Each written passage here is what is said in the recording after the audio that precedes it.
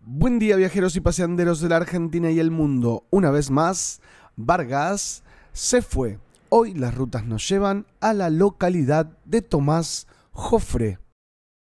El verdadero nombre de la localidad es Jorge Born, pero se ha hecho popularmente conocida por el nombre de su estación ferroviaria, Tomás Jofre, que hoy no tiene tránsito y está totalmente cerrada. Está en la provincia de Buenos Aires, ubicada en el partido de Mercedes, sobre la ruta provincial número 42, camino a General Las Heras. Es un importante centro turístico de fin de semana donde se puede disfrutar de la tradicional vida de campo y es un polo gastronómico con 21 restaurantes registrados de manera oficial. Nos vinimos a Tomás Jofre a comer un poquito, eh, que mentira, nunca comemos un poquito, así que vamos a dar unas vueltas y nos vemos en un rato. Bueno, como buenos gordos y gordas, nos fuimos a comer, estamos, ¿cómo se llamaba? El, el ranchito, el ranchito. Estamos abajo de un arbolito muy lindo, muy lindo. Ya tenemos nuestras empanaditas, ¿sí? Que tienen unas pintas, Andrea ya, la, ya, la, ya, se las, ya está, ya se las comió. Y así que, bueno, vamos a disfrutar. A ver si salen para ahí les muestro la, la empanadita. Está bárbaro, ¿no? Quedó re mal eso, les muestro la empanadita. Peor si hubiese dicho les muestro la empanadita de Andrea. No, no, no. El- Al pasto, al pasto, al pasto, al pasto. ¿Qué? Y le, le- la otra vez le dije, Eli, llévate a tu casa, le digo, para tu sobrino, le digo, yo me llevo, le digo, dos. Va repartido. Claro. Con vos va a poder estar. Y si tiene. Nunca vi unos ¿Qué? ñoquisotes. Mi mamá los hacía más grandes. Me hacía unos así que. Mirá lo que es Mañana esto, tampoco, mirá lo que es esto. No, no les puedo explicar. No, es espectacular. No, no, no. No, no. Que lo vea acá antes que. No, una cosa es decirle verlo. Tomás Jofré hoy en día es popularmente conocido por su oferta gastronómica, donde prevalece el formato tenedor libre. Uno de los pioneros en este rubro fue Silvano, popularmente conocido por sus famosos raviolones caseros. Una opción un poco más amplia e igualmente tradicional es el almacén Fronteras, un antiguo almacén de ramos generales del 1948, devenido en restaurante de campo que además de sus pastas caseras ofrece también variados cortes de carne a la parrilla. La cabaña de Tomás Jofré también es conocida y la esquina de campo son también restaurantes con mucha trayectoria en el pueblo rural que promete calidad y abundancia gastronómica. Pero, este aquí, nosotros fuimos a buscar uno que era totalmente lo contrario, que es este que les estoy mostrando en el video, que se llama El Ranchito de Tomás Jofré. Quiero aclarar que nada de esto es una... Es simplemente nosotros pasamos por ahí, lo elegimos porque nos pareció el más ameno, el más tranquilo. Nadie nos paga nada. Esto está hecho simplemente porque nos gustó cómo nos trataron y nos pareció muy buena la atención.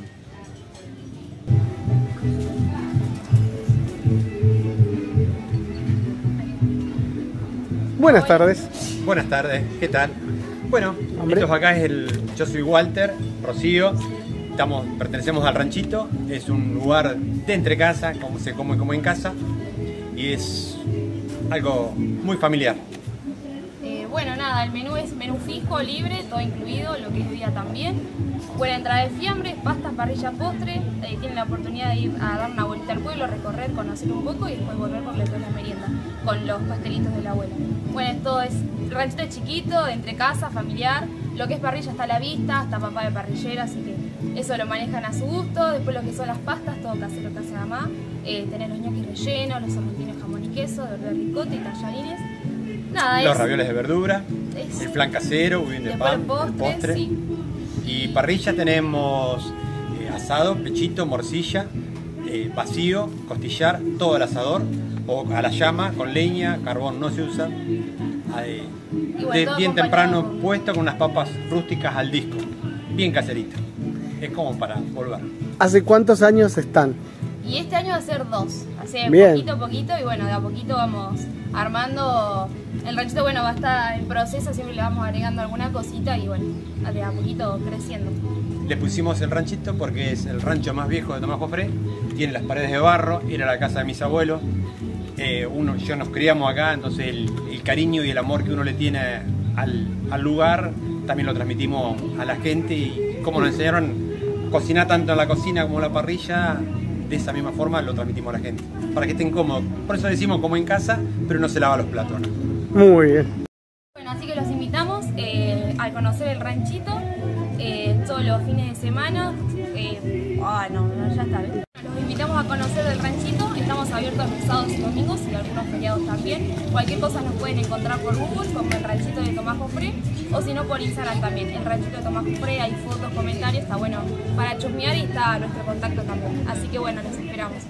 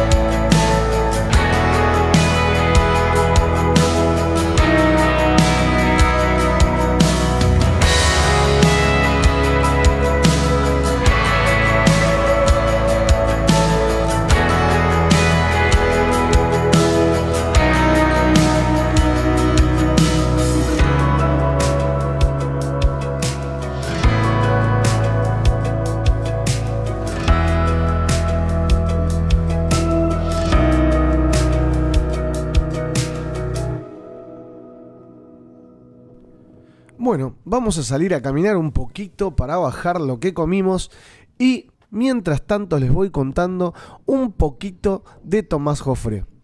Tomás Jofré cuenta con 191 habitantes desde el INDEC del 2010, a lo que ya han pasado 13 años y podemos decir que habrá variado a 220 por ahí, o tal vez no, tranquilamente puede haberse quedado lo mismo. La historia está en que la población que habita en Tomás Jofré solamente trabaja los fines de semana porque hay muy poca gente viviendo ahí. Entonces el trabajo escasea. La mayoría de la gente que vive en el pueblo trabaja entre semana en Mercedes, ¿sí? y los fines de semana trabaja en, eh, en la gastronomía aquí mismo en el pueblo. Hay que tener en cuenta que en el 2001 eran 153 solamente los habitantes. Hoy en día ya ha cambiado y se ha crecido, eh, pues han puesto muchos, muchos restaurantes y muchos alquileres. Está muy bueno hoy en día. El pueblo cuenta con esta plaza central en la que se hace una feria de artesanos. Era un sábado. Hay muy poca gente y hay muy, muy pocos puestos. En cambio los domingos está mucho más lleno eh, y los puestos están casi todos. Eso sí, vayan con tiempo, vayan con tranquilidad si van un domingo, porque para poder eh, conseguir una mesa se complica. Eh, todos los puestos, los restaurantes más grandes, el día sábado estaban llenos, ya estaban repletos. Eh, es bastante complicado conseguir estacionamiento, es bastante complicado conseguir eh, una mesa los días domingos. Por eso nosotros fuimos un sábado, porque nos tocó ir un domingo y no nos sentimos cómodos porque somos eh, personas que nos encanta andar entre poca gente. Les digo que está muy bueno, es muy lindo para caminar. Eso sí, van a necesitar levantarse de la mesa, ir a caminar. Nosotros la posibilidad que tuvimos, eh, que la gente del ranchito de Jofré nos dieron la posibilidad de salir a caminar y volver a comer el postre. Nosotros salimos, hicimos una, caminata de una hora y pico y volvimos a comer el postre que ya estaba pago. Ya estaba pago en, todo el plato que habíamos almorzado. Muy bueno, muy buena la atención, les digo, se los recomiendo. Y creo que todos se manejan de la misma manera. Eh, no sé si los domingos será así, pero comúnmente los sábados está bueno porque se puede hacer esto.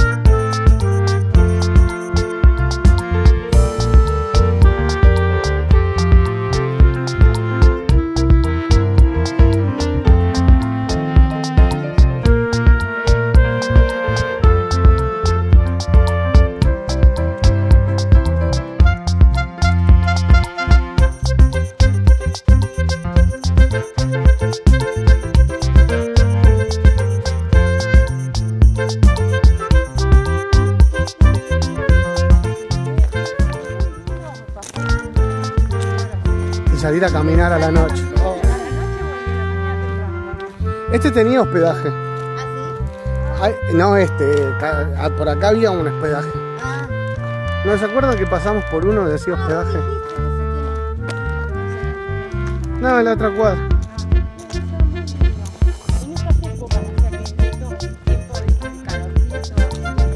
No sé, yo vendría cuando hace frío. Sí, porque podés caminar y no lo sufrís. Y venís con una camperita, así, caminás. ¿Sabes qué lindo? Mira, mira, te digo, ¿sabes qué? Mi cerebro funciona así. Una calle de adoquines en otoño.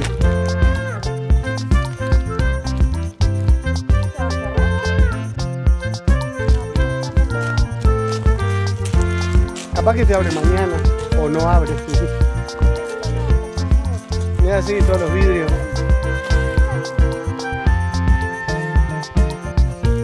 Y lo que pasa es que hay mucha competencia. Hay muchos restaurantes. Bueno, terminamos de comer. Eh, por Dios, nos costó una hora y media de sobremesa. Decir, bueno, arrancamos, vamos a caminar por el pueblo. Terrible, con todo lo que comimos era muy, muy, muy, muy abundante. El lugar era terrible. Nos sirvieron muy bien, muy bien. Creo que pagamos 4 mil pesos por persona. Y comimos como bestias, como bestias.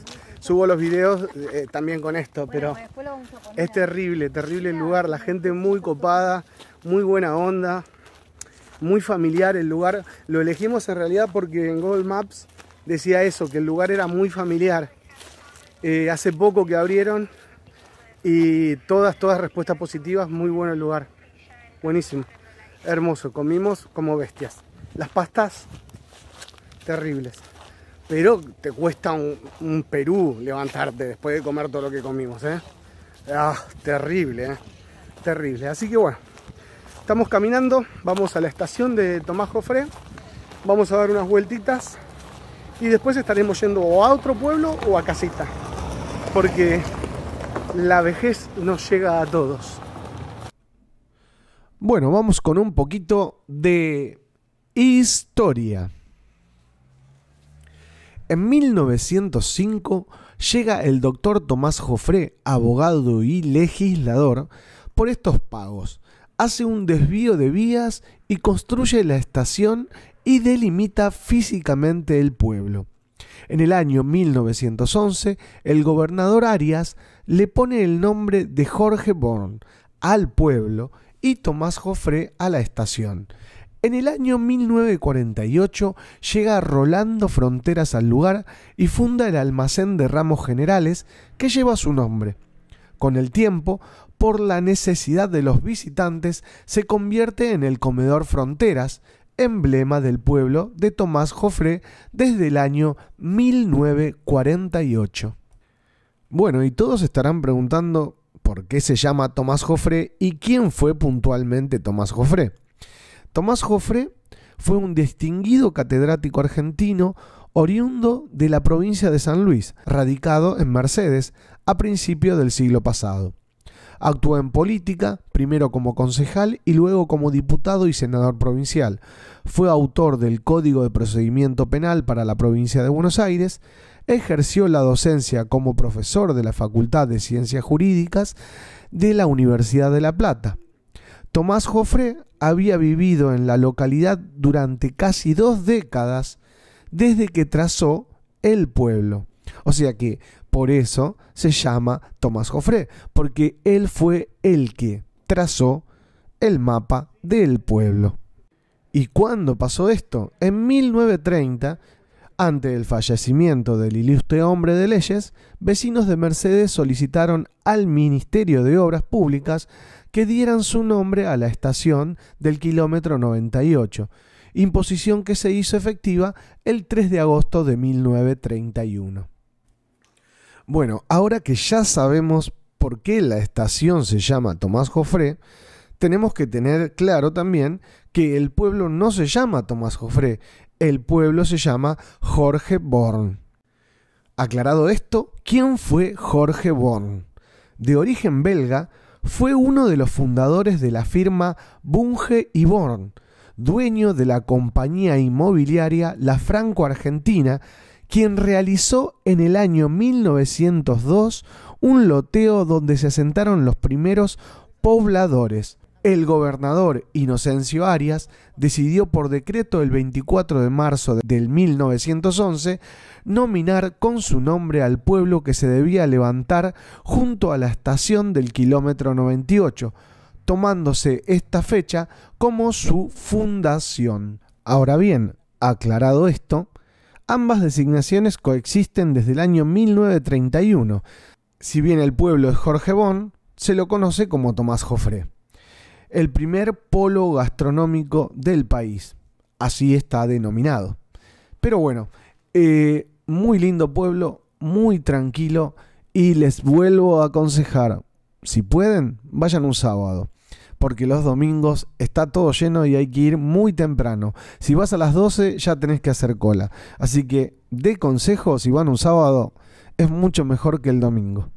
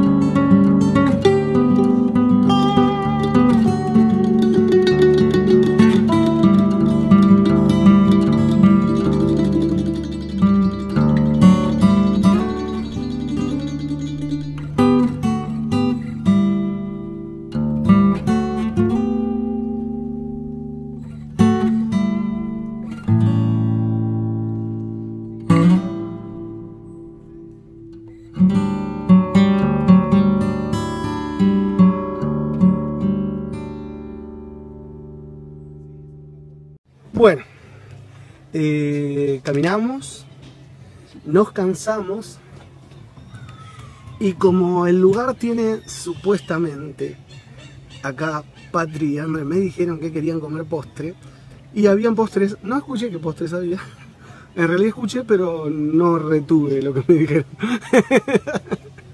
Así que volvimos otra vez al mismo lugar. Eh, caminamos por todos los otros lados y como que mm, hay, hay restaurantes gigantescos, ¿no? Pero mm, no, no, no, no, no, no. Acá hay buena onda, ¿viste? Cuando sentís el olorcito a buena onda, bueno, nos que volvimos a comer el postre acá. Así que en un rato les muestro. Unas gotitas de licor. Mirá, mirá lo que es este lugarcito, para, para, vamos a hacerlo bien. Así salimos los tres. Una... Salimos los tres, no salimos los tres. ¿Será que corremos la silla? Ahora, sí. En este lugarcito así, en pleno invierno, cafecito, todo emponchado así cagado de frío, va como piña. Bueno, ¿qué dicen? Ni hablar, unas gotitas de licorcito para mí. Licorcito así, ay, un Baileys, un Baileys, un cafecito con Baileys. Unos churros. Oh, churrito, no, no, churrito con chocolate. oh. Los, ¿cómo se- los pastelitos que están adentro. Uh, los pastelitos que tienen. No sé, tendríamos que haberlo comprado para que para mostrarlos acá y llevarnoslo, ¿no? Sí, sí, ni hablar, los Le pedimos, pastelitos. le pedimos un par de Le podemos. Eh, pero les digo que el lugar está buenísimo. No es promo esto, ¿eh? lo garpamos. ¿no? Acá no- nadie nos invitó, caímos de pedo. Vieron que después la gente dice, nada, porque esto le garpa. Nada, las bolas, no nos regalan nada. De todo lo tenemos que bueno. la nafta para llegar acá. Todo. eh, El el, peaje, el pasar. peaje, lo- lo- la comida, lo que tomamos, todo es garpado del bolsillo de cada uno. Y se disfruta, ¿eh? se disfruta. Se gasta, pero se disfruta. Pero les digo que explotamos, ¿eh? Hoy, Lo vale, lo vale. Recontra vale. cuenten, cuenten, cuenten ustedes. No, no, muy buena la atención de la gente, la verdad que eh, espectacular. La amabilidad, la comida, no 10 puntos, 11 puntos. Muy familiar, muy ameno. La verdad, muy bueno. Es más, imagínate, qué bien que la estamos pasando que Patri y Andre están hablando en un video. nunca, nunca, nunca las pude enganchar a que se pongan a hablar. Bueno. Es el primer video en el que salen. Debe ser la comida que nos hizo. Claro, nos puso happy. Y el calor. Y de calor. El calor. Nos llegó Los el cagada de 34 calor. grados. Sí, 33. vinimos pensando, salimos nublado, el día nublado, veintipico de grados, llegamos acá y no sé por qué, gracias a Dios del destino, dijo, tomá 35, tomalo o tomalo. La muerte el calor, es impresionante el calor que hace. Abajo de esta sombrita, zafamos. Pero... Pero se disfruta, ¿eh? Así que ahora nos van a traer los postres. Como gordos. ¿Qué pedimos? ¿Qué pedimos? ¿Qué pedimos? Sin sonido no hay video. si, no hay, si no hay sonido, no. No, no hay video. Si, si no hay sonido es que no se está disfrutando la comida. Eh, ¿Qué pedimos? Eh, budín de pan. Budín de pan. Y flancito con crema. Como Todo de la abuela. Todo de la abuela. Todo de la ¿no? abuela, Todo casero, Todo todo. casero. Así que bueno, vamos a, a comer eso y con eso ya nos vamos a, a morir. ¡Chao! Nos vamos al SAME a que nos internen Nos y inyecten la buscapina. nos inyecten un litro de buscapina con el suero. Primer video y último. Claro, y nos van a hacer una, un lavado estomacal porque hemos comido como bestias. Y... Pero lindo, ¿eh? Lindo. Les digo que cuántas veces hemos salido a comer guasada de veces. Sí, muchos. WhatsApp. Muchos que hemos conocido, sí. Pero como acá, como nos atendieron acá, No, muy no. pocas veces. Muy Es linda atención. Que a cada rato te gusto. Aparte nos hicieron probar todo. Todo, todo, nos un poquito probar de todo. todo, pruébenlo, pruébenlo. Eh, Terrible. Genial, genial la atención de la gente. De vuelta, muy familiar, espectacular. Y, y bueno, y comimos como. Sí. Así que bueno, eh, cuando quieren, se vienen. Venga, venga nomás. Eso.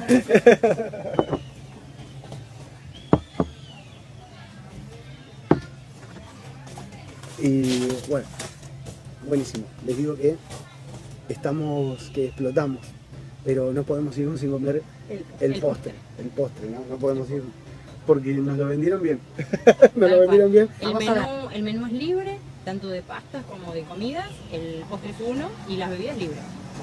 En, en esta época lo que nos están ofreciendo son achuras. Achuras, bueno, por un Ya saben por qué, de- salió en todos lados. ¿no? Claro. si no miran noticiero, bueno, jóganse.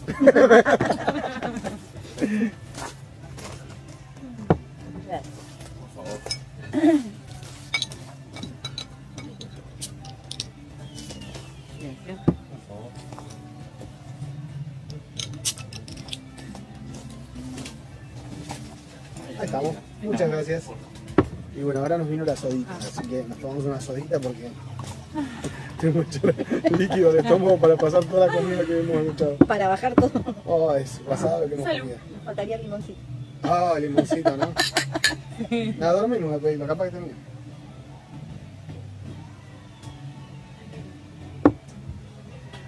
Terrible.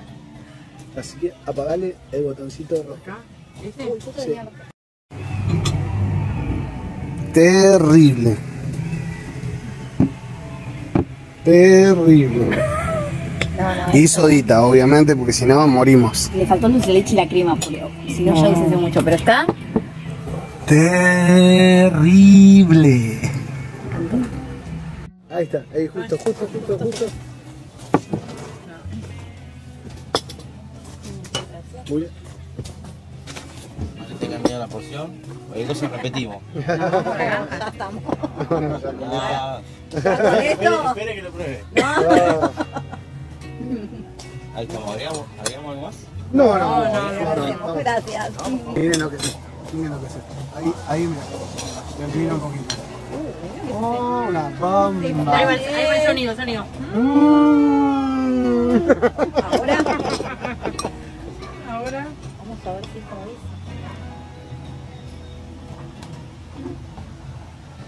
Mm.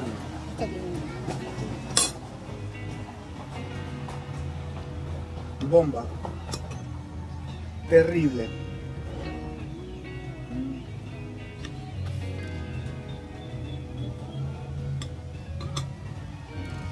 Terrible.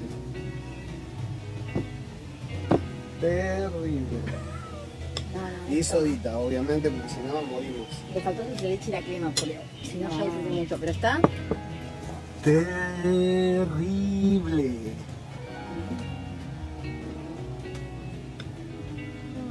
Tengo que y hecho con una.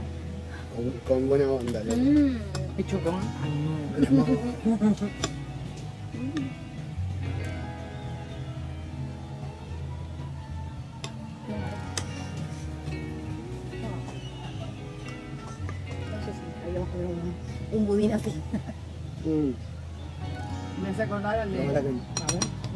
Acordar al de allá de. Al de Quilmes, que es todo casero. La parte de los ¿Cuál? postres. Al de los postres. Ah, eh, casero. No, no quiere caer. Mm, Eh, Suavecita. ¿Viste? ¿Viste lo que está queriendo? Una. Una. ¿Cuál. André? El de los gallegos que tienen los postres también. Ah, También. ¿Sabés qué tiene? Mira, tiene La tarantela. No, tiene pedacitos de naranja. Ah, mira. Por eso no lo encontraba, quería que era un poquito que le... Claro. La tarantela de los gallegos. Terrible bomba. Que no, a veces no llegás. Mm. Mirá acá todo lo que... Sí, Pero porque fuimos a caminar una hora. Caminamos una hora para claro, volver. al centro Quilmes y volver. Claro. Guardame en la mesa, segundo turno el postre. Mm. ¿Y por qué Ya no encontrás más lugares ya. Claro, no, olvidate. Tenés que volver a comer el postre a eso de las doce y media.